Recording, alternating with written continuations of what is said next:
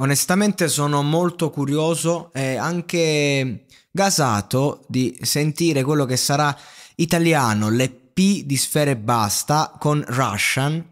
E, e ne sono molto entusiasta perché Sfere Basta, vabbè, eh, l'ultimo disco un po' eh, a livello di sonorità secondo me ha deluso un po' le aspettative dei fan, ecco, mettiamola così.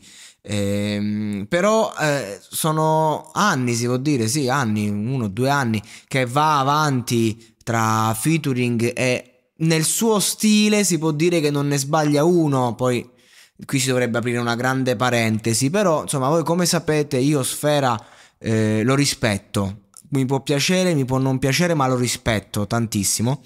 E, ehm, e paradossalmente in, ehm, in, prospettiva dei rapper emergenti di adesso, mi sento anche legato, diciamo, al fatto che eh, comunque lui ha aperto un po' una corrente, se vogliamo, a, a cui adesso si stanno attaccando ehm, di generazione in generazione, diciamo, no? Perché nel senso che adesso stanno passando la mano perché è finita l'ondata trap e quindi secondo me Sfere Basta adesso dovrà essere in grado di rinnovarsi, cosa che nel disco precedente non è riuscito a fare.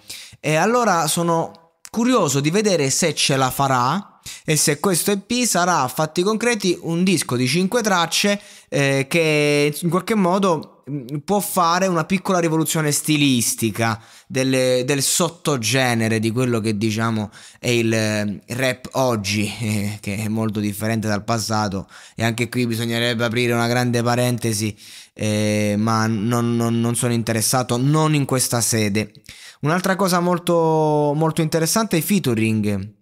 Eh, col buon Fivio, con Mike Towers e con Bia. Tre featuring internazionali eh, per un disco che si chiama Italiano. Cioè, quindi lui praticamente um, grande mossa perché lui in, in, con questo progetto si autoelegge e, e, i numeri gli daranno ragione perché i suoi numeri sono sempre enormi eh, l'artista italiano del mondo e tre featuring di questo livello sono la prova che quello che dice è così, cioè nel senso sono confermato, cioè io mi autoeleggo re in Italia, mettiamola così, e mi devono dar ragione i numeri in Italia, e a Sfera bene o male i numeri glieli danno, gli danno ragione, ma per esserlo nel mondo io ho tre capoccia dell'industria internazionale che lo confermano perché collaborano con me.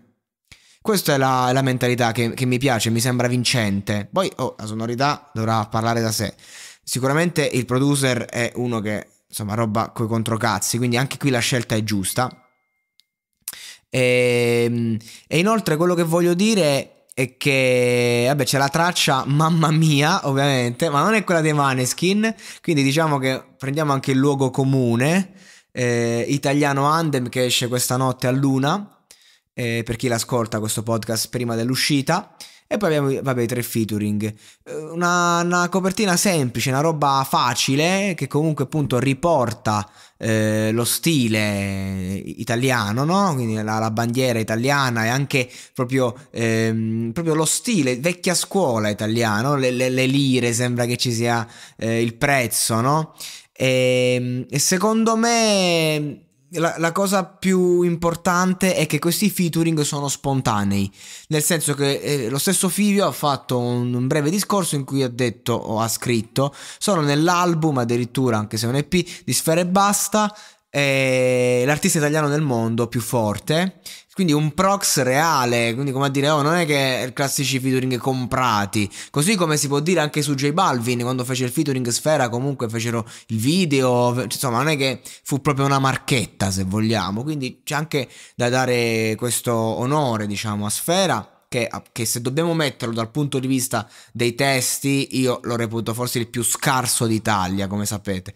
Ma se dobbiamo andare a vedere invece il gioco in cui gioca lui tra stile e, e il, la sua tipologia di testo, io sicuramente ehm, lo preferisco a tutti gli altri perché veramente, perlomeno lui è il capostipite. Quindi dice: Ok, io mi voglio ascoltare sta roba, però mi ascolto Sfera. Non è che vado ad ascoltare tutti quelli che stanno dietro, no?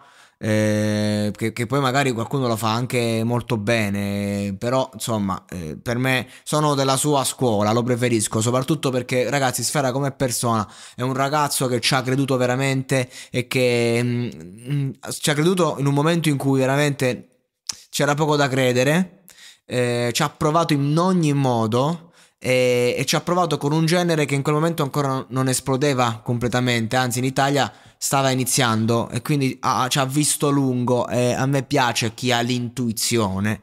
E, e quello che ha fatto Sfera a livello di eh, storytelling video con i, con i, suoi primi video appunto e via dicendo quello che ha fatto lui agli, agli inizi aveva creato proprio un universo che ha coinvolto tanti ragazzini giovanissimi, per carità, non ne stiamo a parlare, però ha fatto una rivoluzione discografica a fatti concreti in Italia e quindi hai la mia stima comunque e il mio rispetto come persona più che come artista. E sono curioso, veramente molto curioso di sentire come suonerà la prima traccia, sperando, sperando che non, non mi deluda e, e, poi tutto l'EP. Quindi un bocca al lupo a sfera. Come sapete, non mi farò problemi a criticare aspramente se il concept mi farà cagare. Ma spero di proxarlo perché comunque è un bravo ragazzo che fa il suo.